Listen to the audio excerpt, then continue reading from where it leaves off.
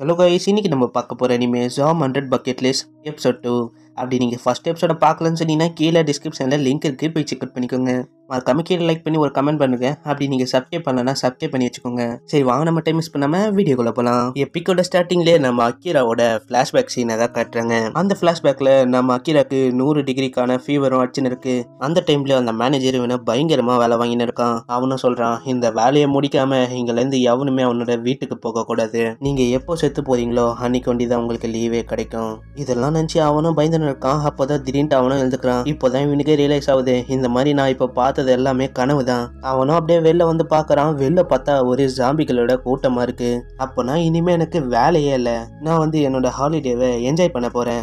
இப்படி சொல்லிட்டு அவனோட ரூமையும் க்ளீன் பண்ண ஸ்டார்ட் பண்ணுறான் ஏன்னா இவன் கடந்த மூணு வருஷமா இவனோட ரூமே க்ளீன் பண்ணல. அதாவது இவனுக்கு டைமே கிடைக்காது. நம்ம அக்கீராவும் அங்கே இருக்க ரூம் எல்லாத்தையும் க்ளீன் பண்ணிடுறான். அவனும் க்ளீன் பண்ணிட்டு யோசிக்கிறான். இந்த மாதிரி நான் டிசைட் பண்ணிட்டேன். இந்த மாதிரி இன்னைக்கு முழுக்க நான் ரெஸ்ட் எடுக்க போகிறேன் அதுவும் இல்லாமல் இங்கே இருக்க பியரை குடிச்சு நான் ஜாலியாக என்ஜாய் பண்ண போகிறேன் இப்படி சொல்லிட்டு நம்ம அக்கீராவும் அங்கே இருக்க ஃப்ரிட்ஜுக்குள்ளே போய் பியர் எடுக்கிறான். அந்த பியரையும் அவன் குடிச்சு பார்க்குறான். அது அவ்வளோ டேஸ்ட்டாக இருக்குது அதுவும் இல்லாமல் இவன் இருக்கிற இடம் வந்து இவனுக்கு சொர்க்கம் மாதிரி இருக்குது ஏன்னா இவனுக்கு இதுக்கு மேலே வேலையே செய்ய தேவையில்ல. நெக்ஸ்டில் ஒரு நியூஸ் சேனலில் எதை காட்டுறாங்க அவங்களும் இந்த உலகத்தை பற்றி சொல்ல இருக்காங்க எப்போ இந்த ஜாம்பி பரவ ஆரம்பிச்சதோ அப்பத்துலேருந்து இந்த உலகம் முழுக்க அழிய ஸ்டார்ட் ஆகுது. எந்த சைடு பார்த்தாலும் இந்த உலகமே பத்தி நெறியுது அதுவும் இல்லாமல் இங்கே இருக்க மனுஷங்க எல்லாருமே ஜாம்பியாக மாறின்னு இருக்காங்க. அதுவும் இல்லாமல் இதே மாதிரி சில ஜாம்பி நம்மளோட ஹெட் குவார்ட்டர்லேயும் வந்துருச்சு இன்டர்நெட் அண்ட் ஃபோன் லைன் எல்லாமே டிக்ளைன் ஆயிடுச்சு. அதுவும் இல்லாமல் கவர்மெண்ட் சைட்லேருந்து எந்த விதமான பதிலும் எங்களுக்கு கிடைக்கல. இப்படி அந்த ரிப்போர்ட்டரும் சொல்ல இருக்கும்போது அங்கே இருக்க ஜாம்பியும் அந்த ரிப்போர்ட்டரை கடிச்சு வச்சு அவங்களே ஜாம்பியாக மாற்றிது ஆனால் நம்ம அக்கிரா இதெல்லாம் கண்டுக்க மாட்டான் அவனும் நெக்ஸ்ட் பியர் எடுத்து குடிக்கலாம்னு நாங்கள் போய் பார்க்குறான் அவனும் அங்கே இருக்க ஃப்ரிட்ஜை திறக்கிறான். பார்த்தா அங்கே பியர் இல்லை. இதனாலே நம்ம அக்கீராவும் டிசைட் பண்ணுறான் இந்த மாதிரி நான் கீழே தான் போய் ஆகணும். ஆனால் கீழே பார்த்தா ஜாம்பியாக இருக்கு. ஆனால் எனக்கு பியர் குடிச்சாகணும். இதனாலே நான் கண்டிப்பாக பியர் வாங்க கீழே போய் ஆகணும். நெக்ஸ்ட் சீனில் ரெண்டு கப்பலில் தான் காட்டுறாங்க. அவங்களும் அதே பில்டிங்கில் தான் இருக்காங்க. அவங்களும் இந்த மாதிரி யோசனை இருக்காங்க. நம்மளை காப்பாற்ற யாருமே இல்லையா? அதுவும் இல்லாமல் இங்கே சுற்றி ஜாம்பியாக இருக்காங்க. நம்ம இங்கேருந்து எப்படி தப்பிக்க போகிறோம் அட்லீஸ்ட் யாராச்சும் ஒருத்தங்க நம்மளை ரெஸ்கியூ பண்ண நல்லாயிருக்கும் இப்படின்னு அவங்களும் யோசனை இருக்காங்க. இவங்களும் இப்படியே யோசனை பால்கனிக்கு வராங்க. பார்த்தா நம்ம அக்கீரா அப்படியே தொங்கினே வந்துன்னு இருக்கான். இதை பார்த்தா அவங்க ரெண்டு பேருக்குமே பயங்கரமான ஷாக்கு யார் யா நீ அப்படின்னு. அப்போதான் நம்ம அக்கீராவே சொல்கிறான் இந்த மாதிரி நான் உங்களோட நெய்பர் தான். ஆனால் என்ன பண்ணுறது படிக்கெட் ஃபுல்லாகவே ஜாம்பியால் ரொம்பி கிடக்குது. அதனால என்னால் அங்கேருந்து போக முடியல. அதனால தான் நான் இப்படி தொங்கின்னு வந்துன்னு இருக்கேன். அந்த ரெண்டு கப்பல்ஸும் நம்ம அக்கீராவை பார்த்து பரிதாகப்பட்டு நீயும் இங்கே வந்திருப்பா. அப்பயாச்சும் நீ சேஃபாக இருப்ப. இதை கேட்ட நம்ம அக்கீராக்கு கவலையே இல்லை. அவனும் சொல்கிறான் இந்த மாதிரி நான் டிபார்ட்மெண்டல் ஸ்டோருக்கு போகிறேன் ஆனால் நீங்கள் அதை பற்றிலாம் கவலைப்படாதீங்க. உங்களுக்கும் ஏதாச்சும் எடுத்துகிட்டு வரேன். இப்படி சொல்லிட்டு நம்ம அக்கீராவும் அங்கேருந்து குடிச்சு அவனோட சைக்கிள் எடுத்துகிட்டு கிளம்ப ஸ்டார்ட் பண்ணுறான் பார்த்தா பின்னாடியே அவ்வளோ ஜாம்பி தோத்தின்னு இருக்கு. இவனும் அந்த ஜாம்பிகளை நோட்டீஸ் பண்ணுறான் இப்போ தான் இவனுக்கு ஒரு விஷயமே புரியுது. அதாவது ஜாம்பியோட எண்ணிக்கை அதிகமாயினே வருது. ஏன்னா நேற்று கம்மியாக இருந்தது. இப்போ பார்க்க ரொம்பவே அதிகமாக இருக்கு. ஆனால் எனக்கு இதில் எந்த பிரயோஜனமும் இல்லை. எனக்கு பிரயோஜனமானது வெறும் பியர் தான். ஏன்னா நான் பியர் குடிக்காமல் இருக்கிறதோட நான் இந்த ஜாம்பி கையிலேயே செத்து போயிடுறது நல்லது. இப்படி சொல்லிட்டு நம்ம அக்கீராவும் பயங்கரமான ஸ்பீடில் அந்த சைக்கிள் எடுத்துன்னு போகிறான் பார்த்தா அவனும் அந்த டிபார்ட்மெண்டல் ஸ்டோருக்கும் வந்துடுறான். இவனும் அங்கே சைக்கிளை பார்க் பண்ணுறான் பார்த்தா பக்கத்துலேயே ஒரு சைக்கிள் இருக்கு. அதுவும் இல்லாமல் அது மேலே கேமராவும் இருக்கு. ஆனால் நம்ம அக்கீரா அதெல்லாம் கண்டுக்காம பியர் வேணும் பியர் வேணும் இப்படின்னு அவனும் கத்தினே போகிறான் அவனும் உள்ளே போயினே இருக்கும்போது திடீர்னு கம்முன்னு பார்த்தா முன்னாடியே ஒரு பொண்ணும் இருக்கு. அந்த பொண்ணும் இவனை மாதிரியே ஏதாச்சும் முக்கியமான பொருள் கிடைக்குமா அப்படின்னு தான் இந்த பொண்ணு இங்கே வந்து எல்லா பொருளையும் எடுத்துன்னு இருக்கு. நம்ம அக்கீராவும் அந்த பொண்ணு கையில் பேசலாம்னு ட்ரை பண்ணுறான் இருந்தாலும் அந்த பொண்ணு இவனை இக்னோர் பண்ணிருக்கு. இதுக்கு அதுக்கப்புறம் அந்த பொண்ணு அங்கே இருக்க பொருள்லாம் எடுத்துகிட்டு அங்கேருந்து கிளம்பலான்னு பார்க்குது அப்போ தான் நம்ம அக்கிரம் ஹே நில்லு. உன்னோட ஃபோன் நம்பர் எனக்கு தர முடியுமா? ஏன்னா நம்ம கணக்கில் இருக்கிறது நல்லது தான் நினைக்கிறேன். இதை கேட்ட அந்த பொண்ணும் ஹே உன்னோட உயிரை ஆபத்தில் வச்சு நீ வந்து இங்கே பியர் வாங்க வந்திருக்க. என்ன ஒரு பைத்தியக்காரத்தனம். நீ வந்து பைத்தியம் தான் ஏன்னா உன்னோட லைஃப்பை நீ ரிஸ்கில் போட்டிருக்க. அப்போனா நீ வந்து இம்பார்ட்டண்டான பொருள் எடுக்க தான் இங்கே வரணும். அதுவும் இல்லாமல் உனக்கு ரிஸ்க்கை பற்றி ஒன்றுமே தெரியல. உன்ன மாதிரி ரிஸ்க்கை பற்றி ஒன்றுமே தெரியாதவங்க கூடலாம் என்னால் டீம் அப் பண்ண முடியாது. அப்படியே நான் டீம் அப் பண்ணால் நான் உயிரோட இருக்கிற சான்ஸு கம்மியாயிடும். இப்படி இவ்வளோ சொல்ல இருக்கும்போது இவன் முன்னாடி சில ஜாம்பிஸை வந்து அட்டாக் பண்ணலான்னு பார்க்குது இதை பார்த்த நம்ம அக்கீராவும் அந்த பொண்ணை காப்பாற்றலாம் அப்படின்னு அவனும் முன்னாடி போகிறான் இதை பார்த்து அந்த பொண்ணும் ஹே எங்கே போகிற அப்படின்னு சொல்லி இழுத்து விட்டுது. பார்த்தா ஒரு ட்ரக் வந்து அங்கே இருக்க ஜாம்பி எல்லாத்தையும் போட்டு தள்ளிது நெக்ஸ்ட் அந்த பொண்ணும் அங்கேருந்து போயிடுது இவனும் வெளில வந்து பார்க்குறான் பார்த்தா அந்த ட்ரக் வந்து இந்த சைக்கிள் மாதிரி ஏறிட்டு இருக்கு.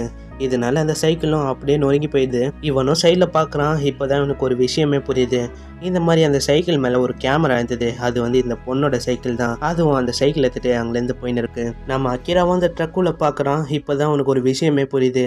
இந்த மாதிரி இந்த ட்ரக்குள்ள இந்த டிரைவரும் ஜாம்பியாக மாறிட்டான். இதனால் தான் இந்த ட்ரக் அவுட் ஆஃப் கண்ட்ரோல் ஆகி இந்த டிபார்ட்மெண்டல் ஸ்டோரில் வந்து மூட்டிருக்கு. அதாவது இந்த ஃபிலிமில் நடக்குமே அந்த மாதிரி தான் நெக்ஸ்டில் நம்ம கீராவும் அந்த பொண்ணை பார்த்து யோசனை இருக்கான். அந்த பொண்ணு வந்து ரொம்பவே அழகாக இருந்தா அதுவும் இல்லாமல் தைரியசாலியாக இருந்தா. என்னால் அவளை நெக்ஸ்ட் டைம் சந்திக்க முடியுமா என்னவோ தெரில இப்படி இவனும் யோசனை இருக்கும்போது பின்னாடியே ஜாம்பியும் துரத்துது. இதை பார்த்தா நம்ம கீராவும் அங்கேருந்து பயங்கரமாக தப்பிச்சு ஓடுறான். பார்த்தா அங்கேயே ஒரு ஸ்கூட்டியும் இருக்குது இதை பார்த்து நம்ம அக்கீராவும் அதை எடுத்துட்டு ஓட்ட ஸ்டார்ட் பண்ணுறான் இவனுக்கும் ஸ்கூட்டி ஓட்டும் போது தான் ஃபீல் ஆகுது. இந்த மாதிரி ஸ்கூட்டி ஓட்டுறது சைக்கிளோட ஈஸியாக இருக்குது அதுவும் இல்லாமல் இவன் போயின்னு இருக்கும்போது இப்போ தான் இவனுக்கு ஒரு விஷயமும் ரியலைஸ் ஆகுது. இந்த மாதிரி இந்த ஜாம்பி டைனாமிக் எப்போ உருவாச்சோ அப்பத்துலேருந்து இங்கே இருக்க வெஹிக்கிள்ஸும் அப்படியே தான் கிடக்குது. சில பேர் அந்த வெஹிக்கிள்ஸ் மேலே இருக்க சாவியை அப்படியே விட்டு ஓட்டாங்க. இதனால நம்ம இந்த வெஹிக்கிள்ஸை யூஸ் பண்ணலாம் இப்படின்னு இவனும் பார்த்துனே போயின்னு இருக்கான். அப்போ தான் நம்ம அக்கீராக்கும் ஒரு புல்லட் பைக் மாட்டுது அதுவும் சாவியோட. இதுதான் நம்ம அக்கீராவோட ட்ரீம் பைக்னாலேயே இவனும் அந்த பைக்கை ஜாலியாக ஓட்டின்னு போயின்னு இருக்கான்.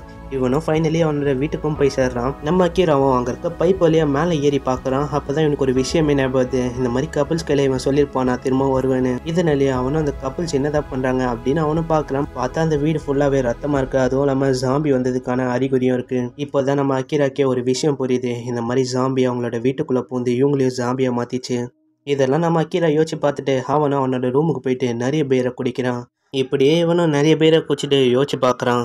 நம்ம வந்து இன்னைக்கு சாவலாம் இல்லைன்னா நாளைக்கு சாவலாம் இல்லைன்னா எழுபது வருஷம்க்கு அப்புறம் கூட சாவலாம். ஆனால் நம்மளுக்கு பிடிச்ச விஷயத்த செய்கிறதுக்கு டைமே இருக்காது. அதுக்குன்னு நான் ரிஸ்க் எடுக்காமல் கூட இருக்க முடியாது. ஏன்னா ரிஸ்க் எடுக்காத வாழ்க்கை வேஸ்ட்டு இப்படி சொல்லிட்டு நம்ம அக்கீராவும் அவனோட டைரி எடுக்கிறான். அதுலேயும் அவன் எல்லா விஷயத்தையும் நோட் பண்ணலாம் இந்த மாதிரி அவன் சின்ன வயசுலேருந்து என்னென்ன பண்ணணும்னு ஆசைப்பட்டானோ எல்லா விஷயத்தையும் அதில் எழுதுறான். ஆனால் இதில் இருக்க ஒரு விஷயத்தை நான் செய்யலான்னு இருக்கும்போது எனக்கு வேறு ஏதாச்சும் வேலை இருக்கும். ஆனால் இப்போ அதுக்கான டைம் இருக்குது இதை நான் கண்டிப்பாக செஞ்சு தருவேன். இதுக்காக என்ன சாம்பியை சாப்பிட்டாலும் பரவாயில்ல.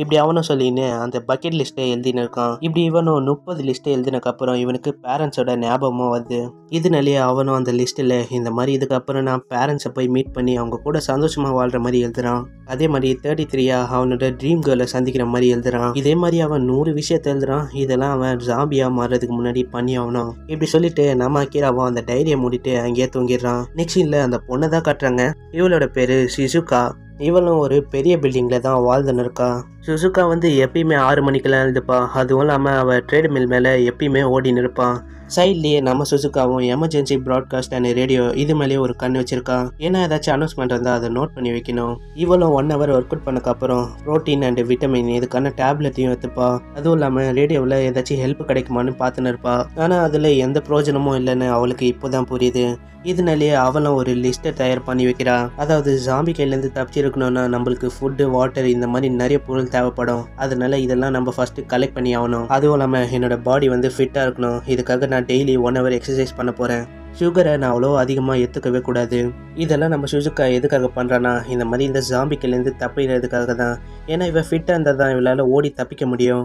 இதுக்கப்புறம் நம்ம சுசுக்காவும் அங்கே டிவிடி போட்டு ஜாம்பியோட படத்தையும் பார்க்க ஸ்டார்ட் பண்ணுறா இதுலேருந்து அவளுக்கு ஒரே ஒரு விஷயம் புரியுது.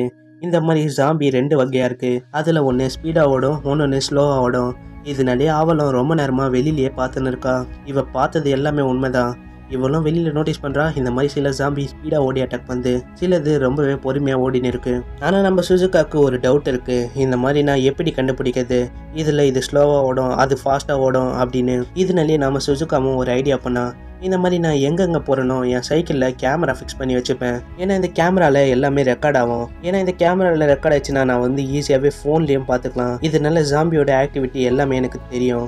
இப்படி அவ்வளோ சொல்லிக்கினே அந்த டிபார்ட்மெண்டல் ஸ்டோருக்கு வந்துடுறா. அவளும் அங்கே தேவையான பொருள்லாம் எடுத்துன்னு இருக்கான் அப்போ தான் அவள் அங்கே கேக்கையும் பார்க்குறா. இதை பார்த்து அவளுக்கு ரொம்பவே ஆசையாக இருக்குது ஏன்னா இவளுக்கு கேக்குனா ரொம்ப பிடிக்கும். ஆனால் கேக்கில் வந்து நிறையவே சுகர் இருக்கும். அதனால அவள் வேணான்னு வச்சிடுறா. நெக்ஸ்ட் இல்லை நம்ம அக்கீராவை தான் கட்டுறாங்க. அவனும் அதே ஸ்டோருக்கு தான் வந்துன்னு இருப்பான். இவன் வந்துன்னு இருக்கிறதும் நம்ம சுசுகாக்கும் தெரிஞ்சுது. ஏன்னா அவளோட சைக்கிளில் ஏதோ கேமரா இருக்குல்ல. இதனால அவளோட மொபைலை வச்சே பார்த்துடுறா. இதனாலே நம்ம அக்கீரா வந்து ஒரு ஜாம்பி இல்லைன்னு அவளுக்கு புரியுது. இதனால தான் நம்ம அக்கீரா என்னதான் உள்ள வந்தாலும் நம்ம சுசுகா வந்து அவ்வளோவா ரியாக்டே பண்ணல. இவளும் அங்கே இருக்க தேவையான பொருள் எல்லாத்துன்னு இருக்கா. நம்ம அக்கீராவும் பேச்சு போட்டுன்னு இருக்கான். இருந்தாலும் நம்ம சுசுகா அதெல்லாம் கண்டுக்காம அவளோட ஃபோனை தான் பார்த்துன்னு இருக்கா. ஏன்னா நம்ம அக்கீரா இங்கே வந்தனால அவன் பின்னாடியே சில ஜாம்பியும் ஃபாலோ பண்ண இங்கே வந்திருக்கு. இதனாலேயே நம்ம சுசுக்காவும் டிசைட் பண்ணுறான் இந்த மாதிரி இங்கே இருந்தால் சரிப்பட்டு வராது. அதனால நான் இங்கேருந்து போய் ஆகணும். அதுவும் நம்ம நம்ம அக்கீராவை பற்றியும் யோசிக்கிறா. இந்த மாதிரி இந்த பையன் எப்படி ஒன்றுமோ ஜாம்பியாக மாறாம இங்கே இருக்கான்? இப்படி இவ்வளோ சொல்ல இருக்கும்போது இவளுக்கும் இப்போ தான் நோட்டீஸ் ஆகுது. ஏதோ ஒரு ட்ரக்கு அவுட் ஆஃப் கண்ட்ரோலாக இங்கே வந்துன்னு இருக்கு இதனால தான் நம்ம சுசுக்காவும் அங்கேயே நின்று இந்த ஜாம்பியை உள்ளே வரதுக்காக வெயிட் பண்ணிருக்கா. இந்த டைமில் தான் நம்ம சுசுக்காவும் நம்ம அக்கிரா கையில் இந்த மாதிரி சொல்லிருப்பா. இந்த மாதிரி நீ இந்த வேஸ்டான பொருளெல்லாம் நீ கலெக்ட் பண்ணக்கூடாது. இவ்வளோ இப்படி சொல்ல இருக்கும்போது முன்னாடியும் நிறைய ஜாம்பி வந்து இதை பார்த்து நம்ம அக்கிராவும் முன்னாடி வந்திருப்பான். இதெல்லாம் நீங்கள் ஃபர்ஸ்ட் சீன்லேயே பார்த்துருப்பீங்க. இதை பார்த்து நம்ம சுசுக்காவும் நம்ம அக்கிரா மேலே அந்த ட்ரக் ஏற்றக்கூடாது இதனாலேயே நம்ம சுசுக்காவும் நம்ம அக்கிராவை இழுத்துடுறா. இவ இழுத்த அத்த செகண்டே அந்த ட்ரக்கும் அந்த ஜாம்பி மேலேயே மோதுது. இதெல்லாம் பார்த்து நம்ம சுசுக்காக்கு இதெல்லாம் ஃபிலிமில் நடக்கிற மாதிரியே அவளுக்கு தோணுது. நெக்ஸ்ட் சீனில் நம்ம சுசுக்காவும் அவளோட வீட்டுக்கும் வந்துடுறா. அவளும் அவளோட வீட்டுக்கு நிறையவே பொருள் எடுத்துன்னு வந்திருப்பா. வாட்டர் ஃபுட்டு ஃபியூவல் பேட்டரி இந்த மாதிரி. அதுவும் இல்லாமல் நம்ம சுசுக்கா வந்து அந்த கேமராவில் நிறைய விஷயத்த ரெக்கார்ட் பண்ணியிருப்பா. ஏன்னா இதை வச்சு தான் அந்த ஜாம்பியோட வீக்னஸை கண்டுபிடிக்க முடியும். அப்போ தான் நம்ம சுசுக்காக்கு நம்ம அக்கீராவோட ஞாபகமும் வந்து ஒரு பியருக்காக எவ்வளோ சந்தோஷமாக இருக்க முடியுமா?